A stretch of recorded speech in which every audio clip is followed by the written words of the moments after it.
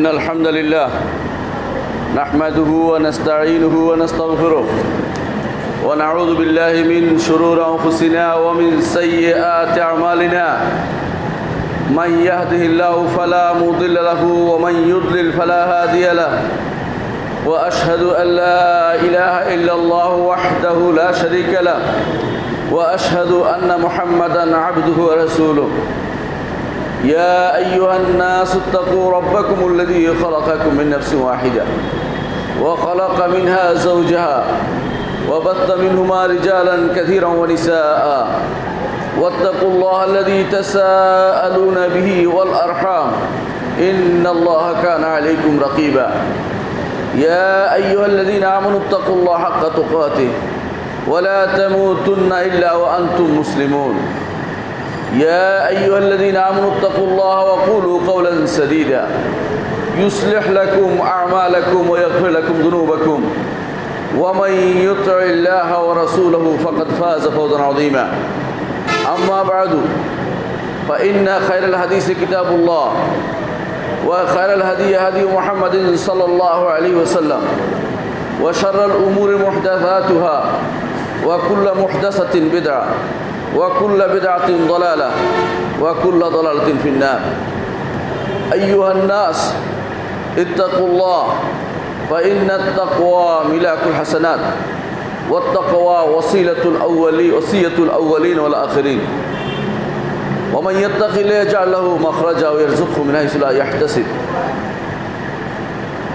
ولقد وصينا الذين أوتوا الكتاب من قبلكم وإياكم أن اتقوا الله সম্মানিত মুসলিয়ান ইকরম আমি আমার নিজেকে এবং আপনাকে, আপনাদের সবাইকে আল্লাহর তাকোয়া অবলম্বন করার অনুরোধ জানাচ্ছি।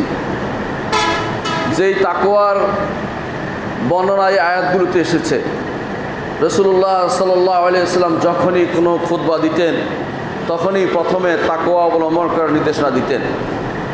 যেই তাকোয়া অবলম্বন করার জন্য যুগে যুগে নবী রাসুলগণ এসেছেন সেই তাকোয়ার নির্দেশনা আমরা গ্রহণ করি। যেই তাকোয়া অবলম্বন করলে জান্নাতে যেতে পারব। যেই তাকোয়া অবলম্বন করলে আল্লাহ তালা দুনিয়ার বুকে যে কোনো বিপদ থেকে আমাদেরকে উদ্ধার করবেন। সেই তাকোয়া অবলম্বন করা আমাদের জন্য অত্যন্ত জরুরি। এই তাকোয়া অবলম্বনের একটি জিনিস হচ্ছে যথাযথভাবে সলাৎ আদায় করা। সলাৎকে কায়েম করা। আল্লাহ তালা কোরআনে করিম বলেছিল আকিমুসলাতা তোমরা সলাৎ কায়েম করো। এই সলাৎ যদি না থাকে, কেউ মোত্তাকি হতে পারবে না। অনেক কিছু হতে পারবে। সলাৎ নাই, কিন্তু মোত্তাকি হতে পারবে না। জান্নাতে যাওয়ার কোনো সুযোগ পাবে না। সলাৎ এই জন্য একটি গুরুত্বপূর্ণ জিনিস, যেটা ইসলামের দ্বিতীয় রোকন বলা হয়। প্রথম রোকনের সাথে তা ওতপ্রোতভাবে জড়িত। ইসলামের প্রথম রোকন হচ্ছে, শাহাদতু আল্লাহ ওয়া আন্না মুহাম্মাদুর রাসূলুল্লাহ। এই সাক্ষ্য দেয়া যে আল্লাহ ব্যতীত হক কোনো ইলাহ নেই। আল্লাহ ব্যতীত সত্য কোনো ইলাহ নেই এবং মোহাম্মদ আল্লাহ রাসূল। এই সাক্ষ্যের সাথে সাথে সলাটটি চলে আসবে। কেন চলে আসে জানেন? কারণ আল্লাহর হকের মধ্যে সবচেয়ে বড় হক হচ্ছে, বড় হক হচ্ছে, তাওহিদের পরে বড় হক হচ্ছে আল্লাহর সলাৎ এটা অটোমেটিক লাইন ইল্লাহর দাবি। ইমানের অংশ হচ্ছে সলাৎ ইমাম বুখার রহমতুল্লাহ আলাই তার কিতাবের মধ্যে অধ্যায় বিন্যাস করেছেন বাবুল আর সলাতু মিনাল ইমান সলাত হচ্ছে ইমানের অংশ। রসুল্লাহ সাল্লাহ উপর ইমান আনার একটি শর্ত হচ্ছে সলাত আদায় করা। ইমানদার হওয়ার একটি শর্ত হচ্ছে সলাত আদায় করা। কেন জানেন? ইমান অন্তরে আছে, কীভাবে বোঝা যাবে? মুখে যদি কেউ বলে, আমি ইমান এনেছি মুনাফেকও হতে পারে। মুখে বলতে পারে, অন্তরে যে প্রমাণ পাবে যখন সে নিয়মিত সলাত আদায় করে। এই জন্য রসুল্লাহ সাল্লাহ আলাইস্লামের দরবারে যারা মুনাফেক ছিল অনেকেই, তারা সলাতা পড়তে বলে রসুল বলছেন যে, এরা তো সলাত আদায়কারী এদেরকে আমি হত্যা করতে পারি না। সলাত আদায় করলে ইমানের পরিচয় পাওয়া যায়। এই জন্য যারা সলাত আদায় করে না, তারা ইমানদার হতে পারে না। সলাৎ সলাত আদায়কারী হচ্ছে ইসলামের দ্বিতীয় রোকন পূর্ণকারী যারা ইসলামের দ্বিতীয় রোকনটি পূর্ণ করবে, তারা পরবর্তী রোকনগুলি করতে পারবে। যেই ব্যক্তি সলাৎ পড়বে না, তার হজের কোনো মূল্য নেই, তার জাকাতের কোনো মূল্য নেই, তার সওমের কোনো মূল্য নেই। যদি সলাৎ না পড়ে, তাহলে তার কোনো কোনো কিছুই তার কোনো মূল্য থাকবে না। এই জন্য ইসলামের দ্বিতীয় রোকন সলাৎ হলেও তার মর্যাদা প্রথম রোকনের সাথে ওতপ্রোতভাবে জড়িত। আপনারা জানেন যে ইসলাম সম্পর্ক ইসলাম ইসলাম পাঁচটি বিনার উপরে প্রতিষ্ঠিত। পাঁচটি, এই এই যে একটা মসজিদ আপনি দেখতে পাচ্ছেন, অনেকগুলো ফিলারের উপর আছে। ঠিক ইসলাম পাঁচটি ফিলারের উপর আছে। প্রথম ফিলার হচ্ছে শাহাদু আল্লাহ আনা মোহাম্মদ রাসুল্লাহ দ্বিতীয় ফিলার হচ্ছে সলাৎ একামত সলাৎ একামত সলাৎ বলতে বোঝায় আমাদের দেশে যেটা বোঝায় সেটা নয়। একামত সালাত হচ্ছে সলাৎকে যেভাবে রসুল্লাহ সাল্লাহ আলিয়াল্লাম পড়েছেন সেভাবে পড়া। যেভাবে রসুল্লাহ সাল্লাহ সলাৎকে যেভাবে যেই টাইমে যেই ফরজ ওয়াজিব মেনটেন করে পড়েছেন সেভাবে পড়া। যেই সময়ে রসুল গুরুত্ব দিয়ে পড়েছেন সেভাবে পড়া। যেই পদ্ধতিতে পড়েছেন সেভাবে পড়া। এটার নাম হচ্ছে একামতুসলা ফরজ ওয়াজিব দেখা, ওয়াক্ত দেখা ধরন দেখা, পদ্ধতি দেখা, এই পুরোটার নাম হচ্ছে একামতুসলা এইটা প্রত্যেক ব্যক্তিও করতে পারে, পরিবারও করতে পারে। এই জন্য প্রত্যেকে তার পরিবারের মধ্যে সলাতে নির্দেশনা দেওয়া হচ্ছে ছোট বয়সেই। একটা বাচ্চাকে ছোট বয়সে সলাতে নির্দেশনা দিতে হয়, কিন্তু তাকে জাকাতের হুকুম তার নাই সওমের হুকুম ফরজ নাই তার উপরে, নির্দেশনা নাই, রাখতে পারলে রাখবে, না রাখলে নাই। কিন্তু সাত বছর হলেই ছেলে মেয়ে উভয়কে সলাতে নির্দেশনা দিতে হয়। কেন দিতে হয়? কারণ সাত বছর যদি সে পড়তে শুরু করে, দশ বছরে সে পূর্ণভাবে পড়বে, এরপরে যখন বালেক হবে, তখন আর সলাৎ ছেড়ে দিবে না। ইসলাম এমন গুরুত্ব দিয়েছে এটাকে, সাত বছর থেকে বাচ্চাকে সলাতের নির্দেশ দিয়েছে। রসুল্লাহ সাল্লাহ আলাইসলাম বলেছেন, মুরু আবনা আকুম্বি সলাত ইজা বালাগু সাবান ওদ্রিবু আলে ইজা বালাগু আশরাম তোমাদের সন্তানদেরকে নির্দেশ দাও, সাত বছর বয়স হলে তাদের জন্য সলাত আদায় করে। আর আমরা সাত বছর বয়সে তাদেরকে ঘুম থেকে টেনে উঠাই সালাত দূরের কথা, স্কুলে যাওয়ার জন্য অথবা মাদ্রাসায় যাওয়ার জন্য, প্রতিষ্ঠানে যাওয়ার জন্য। কিন্তু আমরা সলাতের প্রতি গুরুত্ব দেই না। যেটা সাহাবায় গ্রামের গুরুত্ব ছিল সলাতের প্রতি। রসুল নির্দেশনা দিয়েছে তারা সেজন্য। সলাদ যদি কেউ না পড়তো, তারা ইমানদার মনে করতো না। এই সলাৎ হচ্ছে ইমানের সাথে সম্পৃক্ত একটি বিষয়। ইমান যার সলাৎ নাই, তার ইমান নাই। কারণ হচ্ছে সলাৎকে বাহ্যিক আমল ইমান কীভাবে বোঝা যাবে? সলাৎ পড়ে। সলাৎ পড়ে। কারণ অন্যগুলো মৌসুমি হয়। কারণ হজ আসে বছরে একবার, জাকাত আসে হিসাব করে টাকা পয়সা থাকলে সওম আসে বছরে একবার। কিন্তু পাঁচ ওয়াক্ত সলাৎ তাকে ইমানের পরিচয় দিচ্ছে, যে এই মানুষটি ইমানদার কারণ সে সলাৎ আদায় করে। সুতরাং প্রথম যে দায় কারণে আপনাকে সলাৎ পড়তে হবে তা হচ্ছে ইসলামের রোকন হচ্ছে সলাৎ। দ্বিতীয় যেই কারণে আপনাকে সলাৎ আদায় করতে হবে তা হচ্ছে ইসলামের আমলি দিক হচ্ছে সলাৎ। ইসলামের আমলি দিক। যে দিকটাতে বোঝা যাবে যে যে ব্যক্তি ইমানদার। আমল করার সাথে সুজড়িত। অন্যগুলি মুখে এবং অন্তরে রয়েছে। কেউ মুখে বলল সাহায্য আল্লাহ আইল্লাহ অন্তরে থাকল তার সাহায্য আল্লাহ আইল্লাহ কিন্তু বাইরে কীভাবে বোঝা যাবে যখন সলাতে সে দাঁড়াবে, তখন বোঝা যাবে যে এই লোকটি ইমানদার। তিন নম্বর হচ্ছে, ইসলামের শুরু থেকেই সলাৎ ছিল। ফরজ ছিল ফরজ ছিল আমরা বলছি না, কিন্তু সলাৎ ছিল। সলাৎ কেমনি ছিল দেখেন? রসুল্লাহ সাল্লাহ ইসলাম যখন ইকরা বিসমু রব্বিকাল্লা দিয়ে খালাক নাজির হলো, যখন রসুল্লাহ সাল্লাহ নবুয়ত আসলো, তখন তিনি বাসায় আসলেন।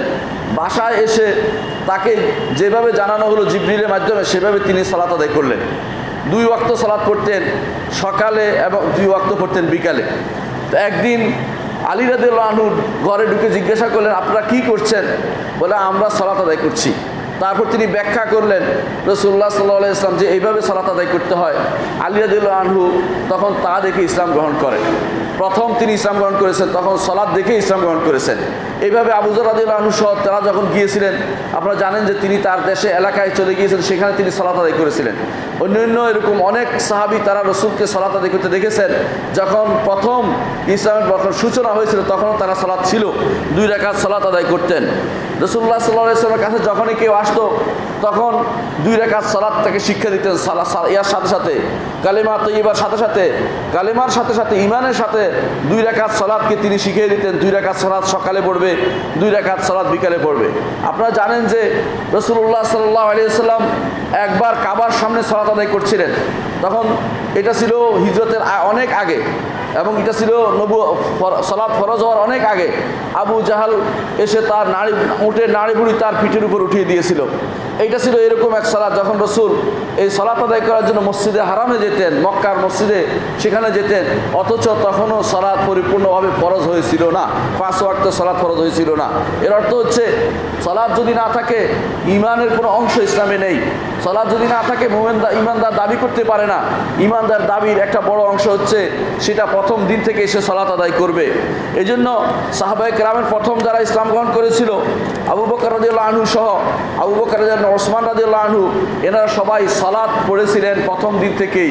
সলা অর্থাৎ ইমানের সাথে সাথে তাদের সলাৎ তাদের সঙ্গে ছিল এবং সলাৎ তারা আদায় করেছিলেন। রসুল্লাহ সাল্লাহ আলি ইসলাম এইভাবে সলাৎ আদায় করে যাচ্ছিলেন। যখন মেরাজ হলো মেরাজের রাত্রিতে রসুল্লাহ সাল্লাহ আলি ইসলামকে আল্লাহ তালা আকাশে উঠিয়ে নিলেন। সেখানে তিনি প্রথমে পঞ্চাশ ওয়াক্ত সলাৎ ফরজ করে দিলেন। পঞ্চাশ ওয়াক্ত সালাত ফরজ করে দিলেন।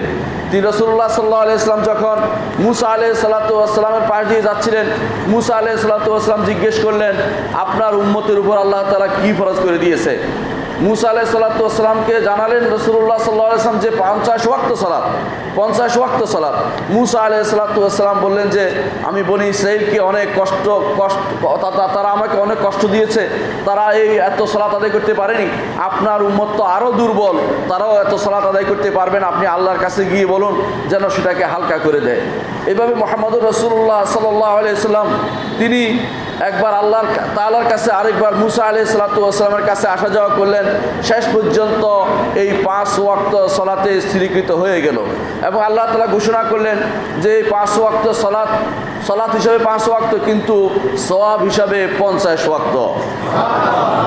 এটা এই জন্য যে ইমানদার সে মেনে নিয়েছে সামিনা ও আতানা মেনে নিয়েছে, তারপর আল্লাহ তালা সে তাকফিফ করে দিলেন, সহজ করে দিলেন। এই জন্য এই পাঁচ ওয়াক্ত সালাদ শুধু পাঁচ ওয়াক্ত নয়, সেটা এখন পঞ্চাশ ওয়াক্তের মতো।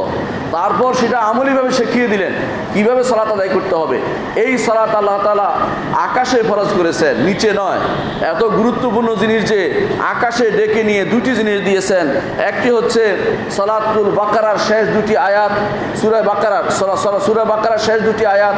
আরেকটি হচ্ছে সালাত আকাশে ফরজ করা হয়েছে। রসুলকে ডেকে নিয়ে মেরাজের রাত্রিতে যে স্পেশাল যে জিনিসটা দিলেন, সেটা হচ্ছে সালাত। কেন? ইমানদার এর মাঝে আল্লাহ এবং বান্দার মাঝে সেতু বন্ধন রচনা করতে পারে।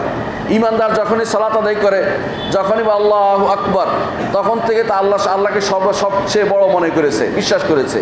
তারপর যখন সে বলে, ইন্নি ওয়াজ্জাহ ওয়া তোলা ওয়ামা আনামিনাল মুশরিকিন, তাওহীদের ঘোষণা দিচ্ছে। যখন আলহামদুলিল্লাহ রবিল আলমিন বলে, যখন সে আল্লাহর প্রশংসা করে, এইভাবে সে সলাতের মাধ্যমে আল্লাহ রব্বুল ইজ্জতের সাথে তার সম্পর্কটা সুন্দরভাবে ঝালাই করে নেয়। সুতরাং সলাৎ হচ্ছে আল্লাহ এবং বান্দার মাঝে একটা সেতুবন্ধন, যেটা মেয়েরাজের মতো।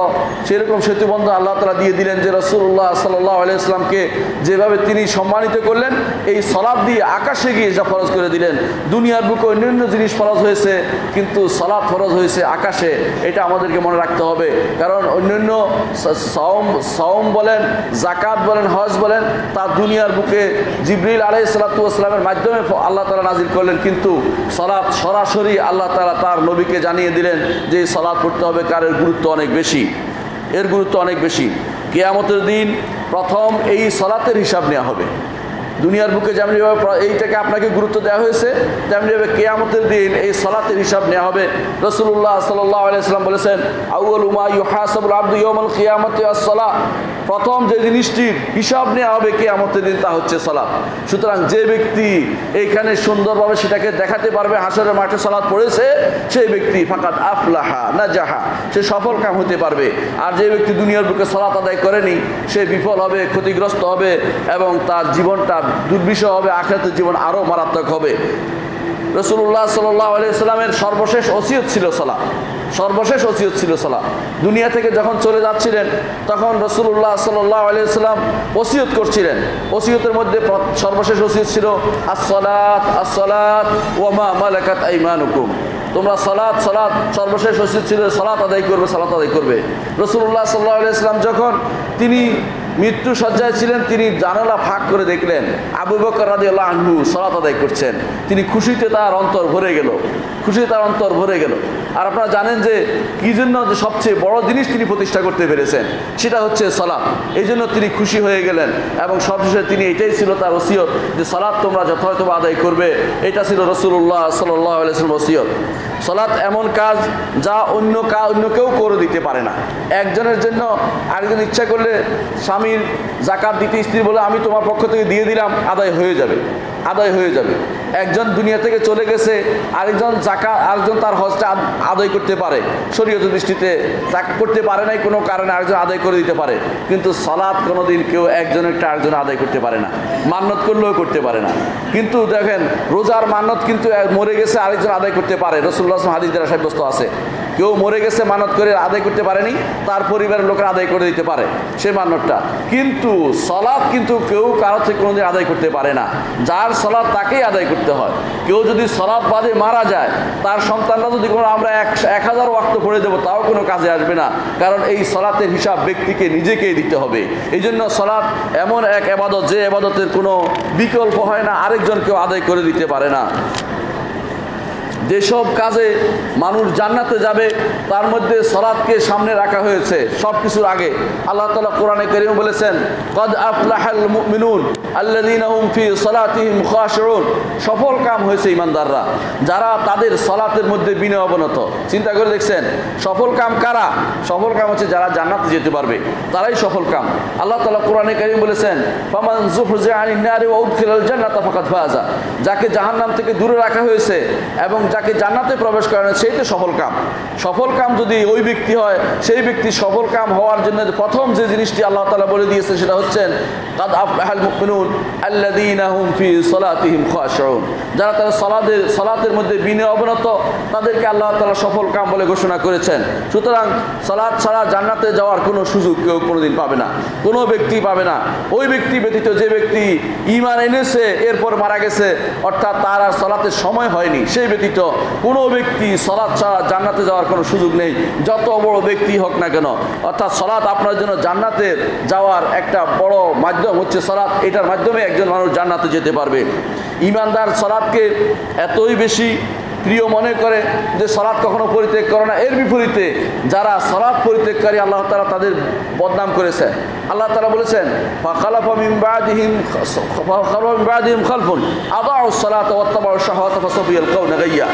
কিছু মানুষ আছে, পুরাতন বাবা মারা নামাজ পড়তো, কিন্তু সন্তানরা নামাজ পড়ে না। আছে না এরকম? এরকম বহু মানুষ আছে পিতা মাতারা নামাজ পড়তে, সন্তানের নামাজ পড়ে না। অনেক এলাকায় গেলে দেখবেন নামাজের কোনো ধার ধারে না, সালাতের কোনো ধার ধারে না। আল্লাহ তালা কোরআনে কারিম বলেছেন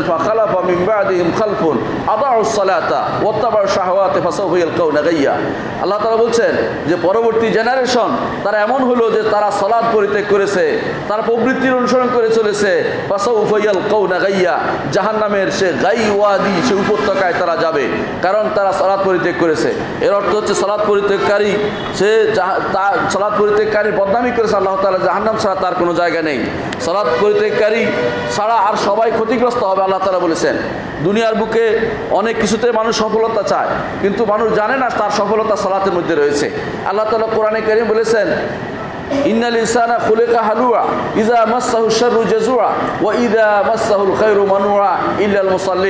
মানুষকে তরা প্রবণ করে সৃষ্টি করা হয়েছে, মানুষ বেকারার অস্থির করে সৃষ্টি করা হয়েছে। যখন তাকে টাকা পয়সা পাওয়া হয় তার কাছে টাকা পয়সা থাকে, তখন সে কাউকে দিতে চায় না। টাকা পয়সা তাকে আল্লাহর রাস্তায় খরচ করতে চায় না। আবার যখন তার টাকা পয়সা না, তখন বেকারার হয়ে যায়, অস্থির হয়ে যায়। কোথায় কীভাবে টাকা রোজগার করবে? হালাল, হারামের জন্য তার তোয়াক্কা করে না। এভাবে মানুষের চিত্র মানুষের মানুষের অবস্থা এরকম। মানুষের ভিতরে মানুষের ভিতরে এই জিনিসটি আল্লাহ তালা দিয়ে দিয়েছেন। কিন্তু আল্লাহ তালা বলেছেন, ইল্লাল কিন্তু যারা ইমানদার মুসলিম, যারা সলাত আদায়কারী, তাদের মধ্যে এই চিত্র ফুটে ওঠে না। আপনি এটাই দেখবেন, যারা সলাত আদায়কারী, তারা সবচেয়ে বেশি প্রশান্তি পায় যখন মসজিদে আসে। আর ওই ব্যক্তি, যে ব্যক্তি দুনিয়ার পিছনে ছুটেছে, সে ওই সময় শুধু প্রশান্তি পায় যখন তার হাতে টাকা আসে। আর ইমানদার যখন মসজিদে আসে, তার কাছে শান্তি লাগে। আর যারা দুনিয়ার পিছনে ছুটে, তারা কখন শান্তি পায়? তারা তখন শান্তি পায়, তার হাতে যখন টাকা আসে। টাকার পিছনে দৌড়ায়। কিন্তু ইমানদার, তার শান্তি হয় মসজিদে, টাকা লাগে না। মসজিদে দুই রাখা সালাত আদায় করছে, আল্লাহর কাছে সেজদা দিয়েছে, মনটাকে শান্ত, প্রশান্ত করে নিয়েছে। এটা ইমানদার এই প্রশান্তি বেশি পায়, দুনিয়ার সমস্ত শান্তি থেকে সে বেশি পায়। চিন্তা করে দেখুন রসুল্লাহ সাল্লাহ আলাইসলাম বলেছেন, রাকাতান, দুইটি রাকা মিনাদ ফজরের ফজরের সলাতের আগের দুইটি রাকা খাইরুম মিনাদ দুনিয়া ও মাফিহা দুনিয়াতে যা আছে, দুনিয়া এবং দুনিয়াতে যা আছে, এই দুইটা থেকে বেশি উত্তম। একজন মানুষ, আপনি বলতে পারেন, অমুক তো বিল গেট এত পয়সার মালিক, অমুক এত পয়সার মালিক, অমুক এত পয়সার মালিক। আরেকজন দুই টাকা সলাত আদায় করেছে, সে এদের সবার চেয়ে উত্তম। কত আশ্চর্য। দেখতে পারেন যে উত্তম কে? সবচেয়ে ভালো মানুষকে সবচেয়ে উন্নত জীবন কার? তা হচ্ছে যে সলাত আদায়কারী। কারণ আল্লাহ তা তাকে সব দুনিয়া এবং তার মধ্যে যা আছে, তা থেকে উত্তম ঘোষণা করেছেন। সুতরাং যারা সলাৎ ঠিকমতো আদায় করবে না, তারা বে- মধ্যে থাকবে। কোনোদিন তারা শান্তি হবে না। তারা লক্ষ লক্ষ টাকা রোজগার করবে, কিন্তু শান্তি তাদের চোখে কোনোদিন দেখা যাবে না। তারা শান্তি পাবে না। অশান্তির মধ্যে বিরাজ করবে। দেখবেন অনেকেই তাদের মধ্যে টাকা পয়সা নাই অথবা হেরে গেছে কোনো কারণে কোথাও দেখবেন যে অর্থ অর্থনৈতিকভাবে মার খেয়েছে, দেখবেন যে আত্মহত্যা করে বসেছে। অথবা দেখবেন যে সব কিছু বউ, বাচ্চা সব কিছু ধ্বংস করে ফেলেছে, নিজেকে ধ্বংস করে ফেলেছে। কি জন্য? তার মধ্যে শান্তির আসল জায়গা খুঁজে পায় না। শান্তির আসল জায়গা হচ্ছে দুই রাকাত সালাত। যেই সালাত আল্লাহ তালা তার উপর ফরজ করে দিয়েছেন। কোরআনে করিম আল্লাহ তাআলা সালাতের নির্দেশ দিয়েছেন এককভাবে। অন্যান্য সালাত, অন্যান্য আবাদতের চেয়ে এককভাবে নির্দেশ দিয়েছেন। বলেছেন আল্লাহ তাআলা ও আকিমুস সালাত ও আতুজ জাকাত সালাতের সাথে আবার আলাদাভাবে এককভাবে নির্দেশ দিয়েছেন। অন্য অন্য আবাদতের সাথে মিলেও সালাদকে আলাদা রেখেও দিয়েছেন। জাকাত দিতে একাত না বলে জাকাতের সাথে সালাদকে আবার বলে দিয়েছেন। অথবা সবর করতে বলেছেন, সাথে আবার সালাদকে বলে দিয়েছেন। আল্লাহ তালা কোরআনে কারিম বলছেন ও আকিমুস সালাত ও আতুজ জাকাতা দেখুন জাকাতের নির্দেশনা আসবে, কিন্তু আগে সলাদটাকে বলে দিয়েছেন, যাতে করে এটা বোঝা যায় যে কেউ সলাদ পরি সলাদ পরিত্যাগ করবে, তার জাকাত দিয়ে কোনো লাভ হবে না। অনেকেই মাঝে মধ্যে আমাদের প্রশ্ন করে যে, আমি দুই বছর বা এত বছর ধরে আমি ছিলাম না, ফরজ ফরজ রোজা আদায় করি নাই, আমার এগুলি কাজা করতে হবে কিনা? আমি বলি যে, আপনি কি তখন নামাজ পড়তেন? বলে নামাজ পড়তাম না। আমি বললাম, তখন থেকে আপনি ইমানদারই ছিলেন না। যে ব্যক্তি নামাজ পড়ে না সলাত আদায় করে না সে ইমানদার হওয়ার কোনো, তার কোনো সুযোগই নেই। কোরআনে কারিম আল্লাহ তাআলা তেমনিভাবে বলেছেন ওয়াস্তাইনু বিসবর ওয়াসসালা সবর এবং সালাত দিয়ে তোমরা আল্লাহর সাহায্য চাও। যে ব্যক্তি সবর এবং সালাতের মধ্যে সাহায্য চাইবে, আল্লাহ তালা তাকে সাহায্য করবেন। কারণ আপনি যখনই বিপদে পড়বেন, তখন আপনি যখন আর সবর এখতিয়ার করবেন এবং সলাতে দাঁড়িয়ে যাবেন, আল্লাহর কাছে কান্নাকাটি করবেন, তখন অবশ্যই আপনার উপর সাহায্য নাজির হবে। মোহাম্মদ রসুল্লাহ সাল্লাহ আলাইসলাম বদরের যুদ্ধে তিনি আল্লাহর কাছে সাহায্য চাচ্ছেন। কীভাবে? সলাত আদায় করছেন, সলাত আদায় করছেন অনবরত তার ঘরের ভিতরে আপনি এত বেকার হচ্ছেন, সালাত পড়তেছেন, আল্লাহ তাআলা অবশ্যই আমাদের সাহায্য করবেন। আবু বকর রাদিয়াল্লাহু আনহু অন্তরে দৃঢ়তা আসলো। রাসূলুল্লাহ সাল্লাল্লাহু আলাইহি বুঝতে পারলেন যে আল্লাহর সাহায্য মঞ্জুর হয়েছে। রসুল্লাহ আলাইহি তখন যুদ্ধের জন্য বের হলেন। এটাই প্রমাণ করে সলাতের মাধ্যমে আল্লাহ তালা ইমানদারদের সাহায্য করে থাকেন। সকল নবী সলাত আদায় করেছেন। সকল নবী। এমন কোনো নবী নাই যে সলাত আদায় করেন নাই। আমরা কোরআন থেকে দেখতে পাই যে আল্লাহ তালা ইব্রাহিম ইয়াকুব এবং ইসহাক তিন নবীর কথা বলেছেন। যারা কি করেছেন? এদেরকে আল্লাহ তালা বলছেন ওয়াউ হাইনা ইলাইহিম ফেইল আল খাইরাত ওয়া ইকাম সালাত ওয়া ইতা জাকাত আল্লাহ তালা কোরআন কারিম বলেছেন, আমি তাদের কাছে ওহি ওহি করেছি। অর্থাৎ এই তিন নবীর কথা উল্লেখ করেছেন। ইব্রাহিম ইয়াকুব, ইসহাক তিন নবীর কথা উল্লেখ করেছেন। বলে, করে বলেছেন যে এদেরকে আমরা অহি করে পাঠিয়েছিলাম যে তোমরা অবশ্যই সলাত আদায় করবে। তোমরা অবশ্যই সলাত আদায় করবে। এটা কি জন্য? ভালো কাজের মধ্যে সলাত হচ্ছে সবচেয়ে উপরে। আপনারা জানেন যে তখন ইব্রাহিম আলাই সালাতাম তিনি হিজরত করে চলে যাচ্ছিলেন তার স্ত্রী সারাকে নিয়ে। তখন বলেছিলেন যে, তখন সারাকে ধরে নিয়ে গিয়েছিল। ওইখানের পাপিষ্ট মিশরি এক শাসক তাকে ধরে নিয়ে গিয়েছিল। কিন্তু তিনি সলাতে দাঁড়িয়ে গিয়েছিলেন আল্লাহর কাছে। পাপিষ্ট যখনই হাত বাড়াতে গেছে, তখনই তার হাত অবশ হয়ে গেছে। বারবার সার যত দিকে, যতবারে এগিয়ে যায় ততবারই সার হাত তার হাত অবশ হয়ে যায়। কারণ সারা তিনি তখন সলাৎ আদায় মুক্ত সলাৎ আদায় ছিলেন। সলাৎ থেকে তিনি এক পাও পিছপা হননি, কারণ সলাতের মাধ্যমে তিনি আল্লাহ সাহায্য চাচ্ছেন, আল্লাহ তারা সাহায্য করেছেন। এমন কি আল্লাহ তারা সাহায্য শুধু ইব্রাহিম আলাই সালাতামকে সারাকে ফেরত দেননি, সাথে সাথে হাজেরকেও ফেরত দিয়ে, হাজের হাজের নামক একজনকেও দাসী হিসাবে দিয়েছিলেন। পরবর্তীতে এই হাজের হচ্ছে ইসমাইল আলাই সালাতামের মা, যাকে আপনার হাজেরা বলেন। এবং তিনি মক্কাতে বসতি স্থাপন করেছিলেন, তার বংশই এখন আরবরা। সারা দুনিয়া তাদের দিনের দিনের প্রসাদ তারাই করেছে। কারণ হচ্ছে তারা প্রথম থেকে যে আল্লাহর সালাত আদায়ের জন্য ইব্রাহিম আলাই সালাতাম তার সন্তানকে সালাত আদায়ের জন্য তিনি বলছেন যে, আল্লাহ, আমি রেখে যাচ্ছি আপনার ঘরের কাছে। আপনার ঘরের কাছে আমার সন্তানকে রেখে যাচ্ছি, একমাত্র সন্তান। আমার আর কোনো সন্তান এখন নাই। তখন তার কোনো সন্তান ছিল না। রব্বানা আলী উকিমুসাল্লাহ আল্লাহ, আমি এখানে রেখে যাচ্ছি যাতে তারা সালাত আদায়কারী হয়। নবীরা কতটুকু সালাত পছন্দ করতেন দেখেন। অর্থাৎ আল্লাহর নির্দেশ পালন করছে এখানে রেখে যাওয়া। তারপরে বলছে আল্লাহ লিউকিমুসাল্লাহ রেখে যাচ্ছে যেখানে এই এই ছেলে বড় হয়ে এখানে সালাত আদায় করে। অথচ ছোট বাচ্চা, দুধের বাচ্চা সে সালাত আদায়কারী তার ফরজ না। বুঝতে চাচ্ছেন ইব্রাহিম আলাই সালাতাম যে আমি রেখে যাচ্ছি, বড় হলে যেন আপনার সালাত আদায় করে। নবীরা কতটুকু সালাতের গুরুত্ব দিতেন একটু দেখেন। মুসা আলাই সালাতামকে আল্লাহ তালা বলছেন ও আনাখতার তুকা ও আনাখতার তুকা ফাস্তাম ইউহা। হে নবী, হে মুসা, আপনাকে আমি পছন্দ করেছি। আপনার কাছে ওহি যা করছি সেটা আপনি সেটা আপনি শুনুন। সেটা কি? ইন্নানি ইলাহা ইল্লা আনা ফাবুদনি। আমি একমাত্র ইলাহ। আমি ব্যতীত আর কোনো সত্য ইলাহ নেই। সুতরাং আমার ইবাদত করো। ও আকিমিস সালাত লিযিকরি। আর আমার স্মরণে সালাত কায়েম করো। মুসা আলাইহিস সালাতু ওয়াসসালামকে যখন নবুয়ত দেওয়া হচ্ছে, সাথে সাথে সালাতের নির্দেশনা দেওয়া হচ্ছে। অর্থাৎ আপনাকে সালাত আদায় করতে হবে। এটা মুসা আলাইহিস সালাতু ওয়াসসালামের নির্দেশ। অনুরূপভাবে ইসমাইল আলাইহিস সালাতু ওয়াসসালামের কথা আল্লাহ তাআলা উল্লেখ করেছেন যে, ওয়াকানা ইয়ামুরু আহলাহু বিস সালাতি ওয়াজ যাকাতি ওয়াকানা ইনদা রাব্বিহি মারদিয়া। ইব্রাহিম আলাইহিস সালাতু ওয়াসসালাম সম্পর্কে আল্লাহ তাআলা বলছেন, কানা ইয়ামুরু আহলাহু বিস সালাতি ওয়াজ যাকাতি ইব্রাহিম কি করতেন? তার পরিবারকে সালাতের নির্দেশ দিতেন এবং যাকাতের নির্দেশ দিতেন। ইসমাইল আলাহ সালাতাম তার পরিবারকে সালাতে নির্দেশ দিতেন। এর অর্থ হচ্ছে প্রত্যেক যুগে সালাত ছিল এবং ইসমাইল আলাহ সালাতাম তার পরিবারকে সালাতে নির্দেশ দিতেন। এটা আল্লাহ তালা খুশি হয়েছেন এবং আল্লাহ তালা প্রশংসা করেছেন যে ইসমাইল এমন ছিল যে সালাতের নির্দেশ দিত। এমন নয় যে তিনি সালাতে নির্দেশ দিতেন না। ইয়ামুরু আহলা বিস সালাতি ওয়াজ যাকাতি ওয়া কানা ইনদা রাব্বিহি আল্লাহর কাছে তিনি সন্তোষ ভাজন ছিলেন। অনুরূপভাবে মোহাম্মদ রসুল্লাহ সাল্লাহ আলাইসাল্লামকে আল্লাহ তারা বলছেন, ওয়ামুর আহলাকা বিস সালাতি ওয়াস্তাবির আলাইহা। হে নবী আপনার পরিবারকে নির্দেশ দেন সালাতের। হে নবী আপনার পরিবারকে সালাতে নির্দেশ দেন। ওয়াস্তবের আলাইহা, এর উপরে সবর করুন। অর্থাৎ সালাত আদায় করার ক্ষেত্রে কোনো রকমের ছাড় পাবেন না। কেউ যেন কোনোদিন ছাড় চিন্তা না করে যে আমি তো অনেক পড়েছি, আজকে ফজর নামাজ না পড়লে চলবে কি না ওই সমস্ত চলবে না। সালাত আপনাকে করে যেতেই হবে। যতক্ষণ পর্যন্ত আপনার, যতক্ষণ পর্যন্ত আপনার আপনার এই নিঃশ্বাস আছে, হুশ আছে অতক্ষণ পর্যন্ত সালাত আদায় করতে হবে। চিন্তা করে দেখুন, কোনো মানুষকে আল্লাহ তালা সালাদ থেকে অন্য কিছুর দিকে দেয়নি। বলে নাই যে সলাত আদায় করা লাগবে না। যেমন আপনি হজ না করতে পারলে আপনার টাকা নাই, হজ ফরজ হয় নাই। আপনার টাকা নাই জাকাত ফরজ হয় নাই। আপনি অসুস্থ, আপনি আপনার আপনি সম না পালন করলে আরেকজনকে দিয়ে পালন করাতে পারেন। কিন্তু সলাত এমন, যতটুকু বা অটুকু করতে হবে। রসুল্লাহ সাল্লাম বলেছেন, সল্লে কায়মান। দাঁড়িয়ে সলাত আদায় করো। না পারলে বসে, না পারলে এক পাশে শুয়ে হলেও আদায় করতে হবে। এর অর্থ হচ্ছে আপনাকে সলাৎ আদায় করা থেকে কোনো মুক্তি নেই। যখন ভালো অবস্থা থাকবেন, তখন পূর্ণ সালাত পড়বেন। সফরে থাকলে দুই রাকাত পড়বেন।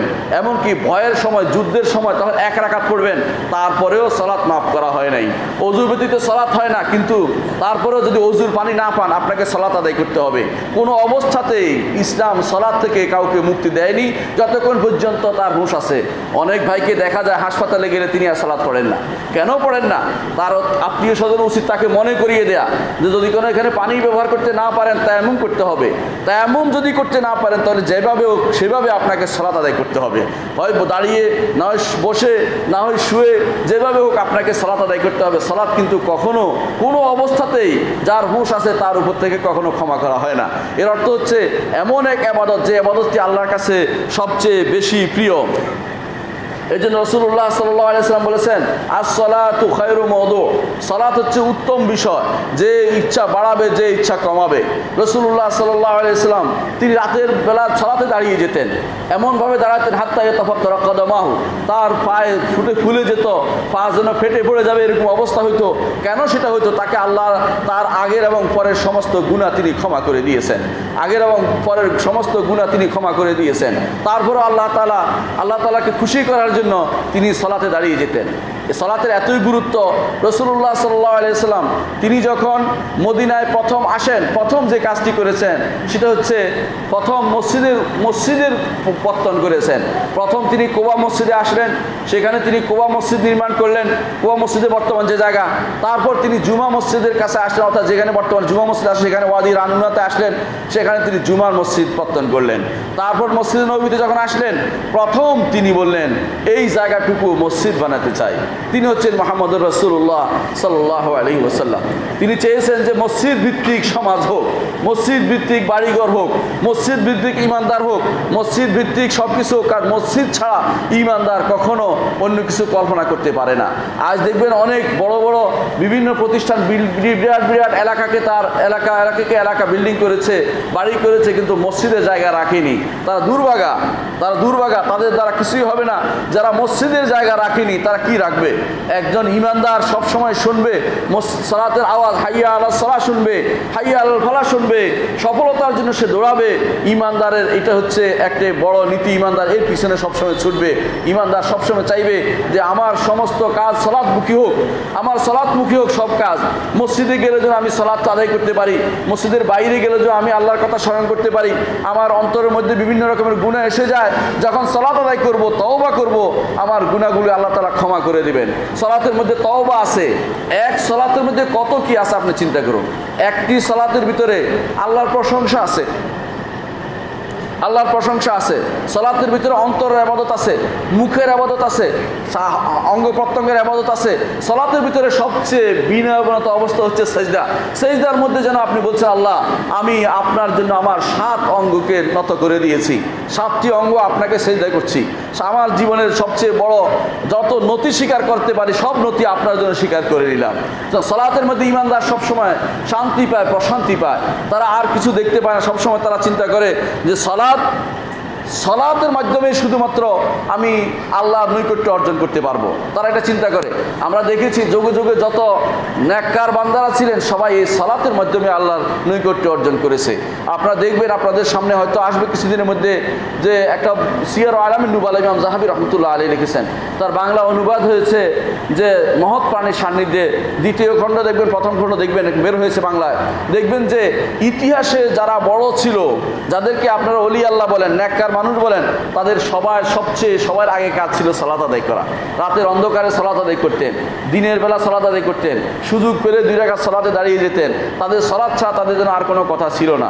কারণ সলাতের ভিতরে আপনি কোরআন তেলাওয়াত করতে পারছেন সলাতের ভিতরে আল্লাহর সাথে কথা বলতে পারছেন সলাৎটা যেন আপনি দুনিয়া থেকেও আখেরাতের মুখে পাঠিয়ে দেয়া, বিশেষ হাদিয়া আপনি যখন পাঠিয়ে দিলেন সলাতের মাধ্যমে, যদি ইমানদার কখনো সলাতের উপরে কোনো রকমের কমতি করে না, তার চিন্তা থাকে এটাই যে আমি দুনিয়ায় আছি, তবে আমি আখরাতের কাজ করে যাচ্ছি এই সলাতের মাধ্যমে।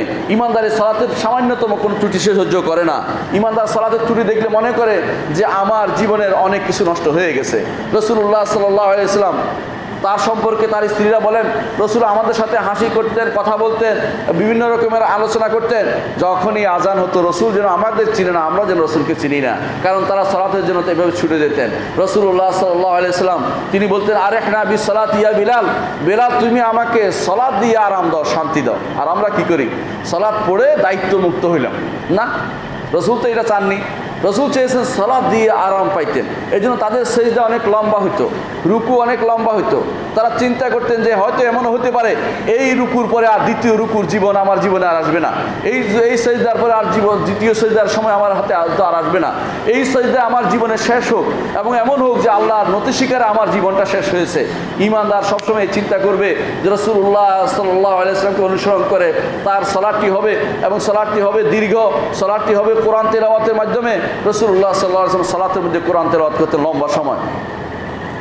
এক হাদিসে এসে রসুল্লাহ সাল্লাহ আসলাম তার তার রাতের সলাৎ সম্পর্কে সাহাবি বলতেছেন, আবদুল্লাহ ইবনে মাসুদ আদিল্লাহ বলতেছেন, আমি রসুল্লাহ সাল্লাহ আসলামের পিছনে সালাত আদায় করতে দাঁড়িয়েছি। এমন সময় আবদুল্লাহ ইবনে মাসুদ অথবা আব্দুল আবু রাদিয়াল্লাহু বললেন আমি তো রসুলের সাথে সালাত দাঁড়িয়েছি। এমন সময় রসুল দেখলাম সুরা বাকারা শুরু করলেন। সুরায় ফাতেহার পরে সুরা বাকারা শুরু করছেন। সুরা বাকারা শেষ করে ফেললেন। তারপরে তিনি সুরা নিসা শুরু করেছেন। নেশা শেষ করে ফেলেছেন। এ দ্বারা প্রমাণিত হয়েছে তার ঠিক রক্ষা করা ফরজ না, মাঝখানে। সুরা নেশা শেষ করেছেন। তারপর তিনি শুরু করছেন সুরা আল ইমরান। সুরা আল ইমরান পড়তে পড়তে কতটুকু যাওয়ার পরে আমার পায়ে আর ধর ছিল না, আমার ইচ্ছে হচ্ছিল যে সুরে চলে যায় আস্তে আস্তে। কিন্তু পরে রসুল্লাহ সাল্লাহ সাল্লাম কাশি আসলো। তিনি তখন কাশি আসার কারণে রুকুতে চলে গেলেন। আল্লাহ আমাকে কোনো রকম সেদিন এত লম্বা টাইম সলাতাই করা থেকে বাঁচিয়ে দিলেন। অর্থাৎ এত লম্বা কেরাত রসুল্লাহ সাল্লাহ করতেন কারণ এইটাতে তার আনন্দ পেতেন। এটাতে তারা আনন্দ পেতেন। তারা আনন্দ পেতেন। রসুল আনন্দ পেতেন সাহাবাইকেও আনন্দ পেতেন। একবার রসুল্লাহ সাল্লাম তার সাহাবিদের সে ফিরছিলেন এক যুদ্ধ থেকে। যুদ্ধ থেকে ফেরার পথে তিনি বললেন যে, বেলাল এবং আরেকজনকে দায়িত্ব দিলেন। বেলাল এবং আরেকজনকে যে, তোমরা পাহারা দাও, আমরা একটু ঘুমাই নেই। তারা দুজন পাহারা দিয়ে দাঁড়িয়ে মনে করল, পাহারা দিয়ে কী হবে? সালাত আদায় করা শুরু করে দেয় সালাত আদায় করছে, তাদের কাছে এত আনন্দ লাগছিল, একটা তীর এসে তার গায়ে বিঁধলো। কিছুই তিনি মনে করেন না। আরেকটা এসে বেঁধলো, কিছুই মনে করেন না। আরেকটা এসে বিঁধলো, তার মনে হলো যে আমার সলাদ কেটে যাচ্ছে, কিন্তু তীর এইভাবে যেভাবে আসছে, শত্রুরা যদি সংবাদ পেয়ে যায় যে আমাখানে কেউ নাই, তারা সবাই এসবে আর মুসলিমদের ক্ষতি হবে। তারপর তিনি তাড়াতাড়ি সালাদ শেষ করে বললেন যে শত্রুরা আক্রমণ করতে আসছে। তখন সাহাবা একরাম সেখানে সজাগ হয়ে গেলেন। যে বুঝিয়ে দিলাম এটাই সাহাবা একরাম যখনই সালাতে দাঁড়াতেন, তাদের আর দুনিয়ার খবর থাকতো না। এবং তারা সবচেয়ে বেশি খুশি হতেন সালাতের মাধ্যমে। একজন ইমানদার, তার সবচেয়ে বেশি প্রিয় হবে সালাত। রসুল্লাহ সাল্লাহ তিনি বললেন, বিলাল, তুমি কি এমন কাজ করেছ যে তোমার পায়ের শব্দ আমি জান্নাতের সামনে শুনতে পেলাম? বিলাল রাজা বলেন ইয়া রাসুল্লাহ আমার তো মনে আসে না তেমন কোনো কাজ করেছি। তবে আমি যখনই দুই রাকাত যখনই আমি অজু করেছি, তখনই দুই রাকাত সালাত আদায় করেছি। একজন ইমানদার চিন্তা করতে পারে যে আমি আমলটা করতে পারি। অন্তত বেলাল রাজিল্লাহর মতো জান্নাতে যাওয়ার একটা পথ আমি আবিষ্কার করে নিতে পারি। কোন আমলে আল্লাহ তালা আপনাকে পার করবেন আপনি জানেন না। এ ক্লাসের সাথে এমনও হতে পারে যে এই যে দুই রাকাত সালাত আপনি নিয়ত করছেন যে আমি যখনই আমি অজু করব, তখনই ইনশাল্লাহ দুই রাকাত নামাজ পড়ব। হতে পারে এই নফল কাজটি আল্লাহর কাছে প্রিয় হয়ে গেছে এবং এর মাধ্যমে আল্লাহ তালা আপনাকে আপনাকে পার করে নেবেন। ইমানদার এই জন্য চিন্তা করে, কোন ওসিলা দিয়ে, কোন ন্যাক ওসিলা আল্লাহ তালা ধরবেন, যাতে দিয়ে আলমী যেটা আল্লাহ অনুমোদন করেছেন, রসুল অনুমোদন করেছেন, যেটা দিয়ে আমি পার পেতে পারব। কারণ হাসরের মাঠের বিশাল বৈতরণী পার হওয়া খুব কঠিন কাজ, খুব কঠিন কাজ। কঠিন কাজ, কারণ অনেক লম্বা সময়, পঞ্চাশ হাজার বছর এক দৃষ্টি আল্লাহর দিকে তাকিয়ে থাকতে হবে। পঞ্চাশ হাজার বছর, এক বছর, দুই বছর নয়, সত্তর বছর নয়। দুনিয়ার জীবনে যা বাসি তা নয়। এর চেয়ে বহু বহু বহু গুণ বেশি সত্তর পঞ্চাশ হাজার বছর হাসরের মাঠে থাকতে হবে। সেখান থেকে পার পাওয়ার জন্য ছোট্ট কোনো না কোনো একটা অসিরা আল্লাহর কাছে রাখুন। গোপন অসিরা যে কেউ দেখেনি, কেউ জানেনি, কিন্তু আমার রব জেনেছে, আমার আল্লাহ জেনেছে, তিনি সেটা দিয়ে আমাকে পার করে নেবেন। এই জন্য সলাতের গুরুত্ব অনেক বেশি সর্ব সব সময় সলাতের গুরুত্ব দিয়ে আমাদেরকে এগিয়ে যেতে হবে এবং মনে করতে হবে সলাৎ যদি আমার জীবনে শেষ হয়ে যায়, আমার জীবনের শেষ সব কিছু শেষ হয়ে যাবে। আমি যেন শয়তানের পায়ে পা দিলাম, শয়তানের পদাঙ্ক অনুসরণ করলাম, শয়তানকে আমার মুরব্বী মেনে নিলাম, যেই ব্যক্তি সলাত আদায় করেন, আপনি দেখবেন, সে যত কিছুই করুক না কেন, সে শয়তানের দোষ সে শয়তানের দোষ কারণ আল্লাহ তালা কোরআনে করিম বলেছেন সলাৎ আদায়কারী কি ইমানদার বলেন নাই? ইমানদার হতে হলে সলাৎ আদায়কারী হতেই হবে। আল্লাহ তালা বলছেন, ফাইন তাবু ও আকামু সলাত ও আতাউ যাকাত ফা ইখওয়ানুকুম ফিদ্দিন যদি তারা তওবা করে, অর্থাৎ কুফুরি থেকে ফিরে আসে এবং সলাৎ কায়েম করে জাকাত দেয়, তাহলে তারা হচ্ছে তোমাদের দিনের ভাই। আর যদি কোনো সলাৎ কায়েম না করে, তাহলে তারা দিনের ভাই নয়। তাদের এই ভ্রাতৃত্ব বন্ধন হবে না। ইমানদারের মধ্যে পরস্পর ভ্রাতৃত্ব বন্ধন আছে। আল্লাহ তালা কোরআনে কারিম বলেছেন যে, ইন্নামাল মিনুল এই খোয়া ইমানদাররা সবাই ভাই ভাই। কিন্তু এই ভ্রাতৃত্ব বন্ধন নষ্ট হয়ে যাবে সলাত আদায় করে না হলে। এই জন্য অনেক সময় আপনারা দেখেন, আপনার বন্ধুত্ব হয় কার সাথে? সলাত আদায়কারীর সাথে। কিন্তু যারা খারাপ মানুষ, তারা খারাপের সাথে বন্ধুত্ব করে। যারা দেখবেন যে সলাত আদায় করে না, ওদের সাথে বসে উঠা বসা করে, ওদের সাথে চলাফেরা করে। কিন্তু ইমানদার, তার বন্ধুত্ব হয় যারা সলাত আদায় করে তাদের সাথে। মসজিদে একসাথে সলাত আদায় করলে কী লাভ? হাদিসে আছে রসুল্লাহ সাল্লাম বলেছেন, যখন জান্নাতিরা জান্নাতে যাবে, তখন তাদের মন্ত্রে আল্লাহ তালা ইলহাম করে দিবেন। আল্লাহ বলবেন যে, ইয়া রব্বুল আলমিন, আমাদের সাথে সলাত আদায় করতো, তাকে তো দেখতে পাচ্ছি না। আমাদের সাথে সলাত আদায় করে তাকে দেখতে পাচ্ছি না। তখন বলা হবে, তুমি খুঁজে বের করো। তখন দেখা হবে জাহান নামে আছে, তাকে তুমি সুপারিশ করে আল্লাহর কাছে সে বের করে নিয়ে আসতে পারবে। সুবহান আল্লাহ তাহলে বুঝতে পারছেন যে কতটুকু গুরুত্বপূর্ণ একজন ইমানদার তার বন্ধু বানাবে সলাৎ আদায়কারীকে এবং সলাৎ আদায়কারীর সাথে তার বন্ধুত্ব হবে এবং একসাথে চলাফেরা করবে, তারা খুঁজে বেড়াবে যে কোথায় গেল আমার বন্ধুটা, তার সাথে একাত্রে সলাৎ আদায় করতাম, খুঁজে পাচ্ছি না। এটাই হচ্ছে ইমানদারের কাজ ইমানদার সবসময় সেটা খুঁজে বেড়াবে। অনুরূপভাবে আল্লাহ তালা কোরআনে করিম বলেছেন ও আকিমু সালাত ওলাতে কুনুনের মুশিকি সলাৎ কায়েম করো, মুর্শিদদের অন্তর্ভুক্ত হয়েও না। এর অর্থ হচ্ছে, যারা সলাৎ আদায় করে না, তারা মুর্শিদদের অন্তর্ভুক্ত। এটা কোরআনের ফাফার নাস এটাকে বলা হয়। অর্থাৎ সলাৎ আদায় কারী কারী যারা করবে না, তারা ইমানদার অন্তর্ভুক্ত হতে পারবে না, তারা মুর্শিদদের অন্তর্ভুক্ত। কিসের কীভাবে তারা শিরিক করল? কারণ প্রবৃত্তিকে তারা আল্লাহর স্থানে দাঁড় করিয়েছে। প্রবৃত্তিকে আল্লাহর স্থানে দাঁড় করিয়েছে জন্য তার এবাদত করতেছে, আল্লাহর এবাদতে তার মাথা নত হয় না। এক লোক এসে বলল, ইয়া রাসূলুল্লাহ, আমরা ইমান আনলাম, তো শর্ত হচ্ছে এটা এটা যে আমরা সালাত আদায় করতে পারব না। রসুল্লাহ সাল্লাহ ইসলাম বললেন, লা দিন ইল্লা সালাতা ফি। এমন দিনে কোনো কল্যাণ নেই, যে দিনে কোনো সালাত নেই। অর্থাৎ তুমি সালাত আদায় করবে না ইমান আল্লাহ এই সমস্ত সালাকে চলবে না। ইমানদার হতে হলে তোমাকে সালাত আদায় করতেই হবে। এবং সালাত আদায় করার কারণেই শুধুমাত্র তাদেরকে রক্ষা করা হবে যারা তাদের বিরুদ্ধে জেহাদ করার নির্দেশনা দেওয়া হয়েছে। রসুল্লাহ সাল্লাহ আলাইসলাম যখনই কোনো কাফেলা পাঠাতেন, কোনো যুদ্ধ পাঠাতেন, তখন বলতেন, যুদ্ধ করিও না, অপেক্ষা করো, রাতের বেলা অপেক্ষা করো, সব ফজরের সালাতে আজান হয় কিনা দেখো।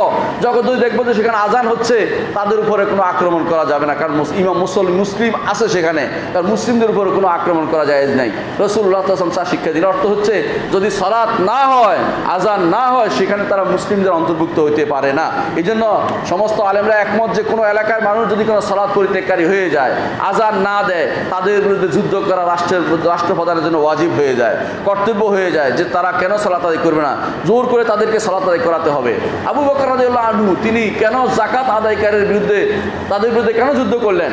কারণ যুদ্ধ করেছেন এই জন্য তিনি বলেছেন এটা, যে আমি অবশ্যই যুদ্ধ করব যারা সলাত এবং জাকাতের মধ্যে পার্থক্য করে। এ সলাত আদায় করতে পারে জাকাত কেন দিবে না? দুটাই করতে হবে।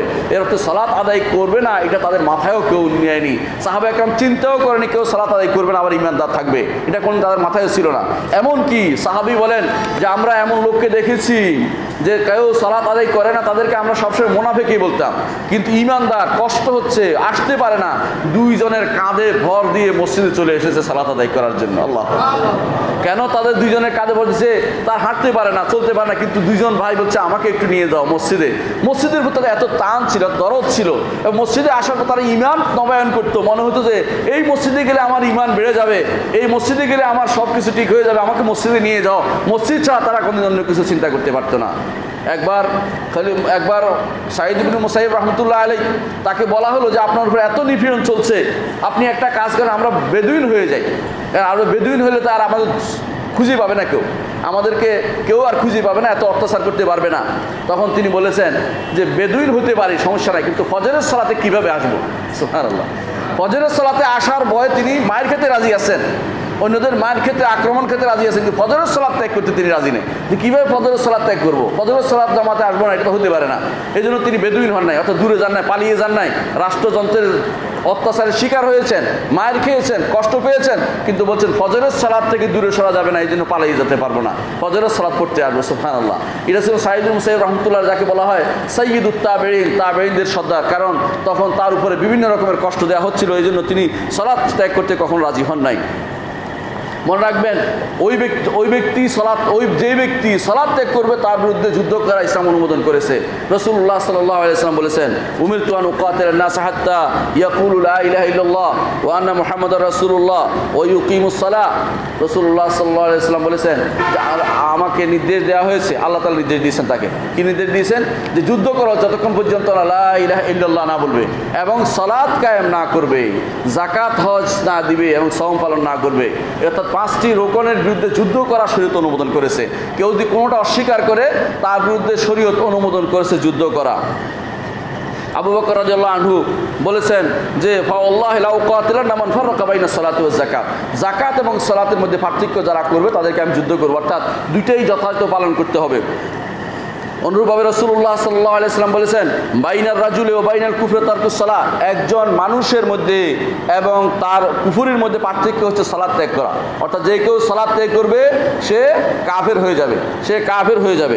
রসুল্লাহ আসলাম আরও বলেছেন, বাইনার রাজুল ও বাইনা শিরকে ওয়াল কুফরে তারকুসলা একজন মানুষের মধ্যে একজন মানুষের আর কুফুরি এবং শিরকে পতিত হওয়ার মধ্যে পার্থক্য হচ্ছে সালাদ ত্যাগ করা। যে ব্যক্তি সালাদ ত্যাগ করবে, সে ব্যক্তি কাফের হয়ে যাবে। রসুল্লাহ সাল্লাম আরও বলেছেন লাইসা বাইনাল আব্দি ও বাইনাল ইমানদার এবং কুফুরির মধ্যে পার্থক্য আর কিছুই না, শুধু ত্যাগ করে দেয়া। ত্যাগ করলে সে ইমানদার আর থাকতে পারে না। এগুলো রসুল্লাহ থেকে সই প্রমাণিত। রসুল্লাহ আসলাম আলো বলেছেন আল আহদুল্লাজি বাইনানা ও পামান কাফারা। আমাদের মধ্যে আর কাফেরদের মধ্যে পার্থক্য হচ্ছে সালাতের। যে কেউ সালাদ ত্যাগ করবে, সে কাফের হয়ে যাবে। সে কাফের হয়ে যাবে। এর অর্থ হচ্ছে ইমানদারকে চিনতে হলে সলাতের মাধ্যমে চিনতে হবে। আপনার পরিবার যে ব্যক্তি পরিবারের মধ্যে এমন কেউ যদি আসে, সলাত আদায় করে না, তাকে ইমানদার হওয়ার কোনো সুযোগ নেই। অর্থাৎ ইমানদার নয় সে। অনুরূপ এক হাদিসে আছে রসুল্লাহ সাল্লাহ আলাইসলাম তার কাছে বসা ছিলেন বসা ছিলেন মেহজান আল আদরা আল আসলামী রাজি আল্লাহ আহনু বসা ছিলেন তিনি বলেন যে রসুল্লাহ সাল্লাহ আসলাম উঠে চলে গেলেন, সালাত আদায় করলেন। আমি সে বসায় বসা ছিলাম রসুল এসে বললেন যে, মেহজান, তোমার কি হলো? মা মানা আকান্তসাল্লি তোমার কি হলো? সালাত আদায় করলে না কেন?